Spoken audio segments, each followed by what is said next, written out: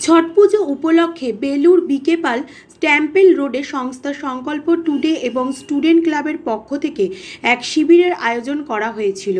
শিবিরে first aid, medical camp, ambulance ব্যবস্থা ছিল।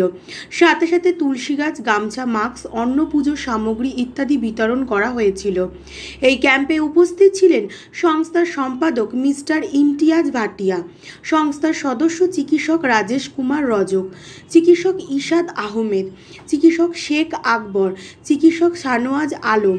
সংস্থার সিনিয়র মেম্বার মুস্তাফা চাচা, সুরাজ কুমার, মাহিতোষ মাহাতো, সংস্থার মহিলা সদস্য, প্যারামেডিক্যাল স্টাফ পিয়ালি লস্কর, রনিতা আরও অন্যান্য সদস্যগণ এবং national memory champion mister Manoj Kumar. Trinamool কংগ্রেসের যুব স্টেট সেক্রেটারি কৈলাস মিশ্রা আর স্টুডেন্ট ক্লাবের সমস্ত ভলেন্টিয়ার ভাইরা এলাকাবাসীরা। হাওড়া থেকে মণিশঙ্কর বিশ্বাসের report, news Bangla twenty four into seven সবার সাথে, সবার পাশে It's caught in the crossfire.